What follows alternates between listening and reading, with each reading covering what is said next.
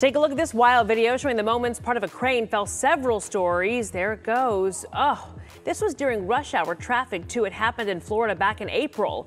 You can see the giant piece of metal crush that car. That driver incredibly able to walk away with only minor injuries. A construction worker was killed as it came down though. The incident is under investigation.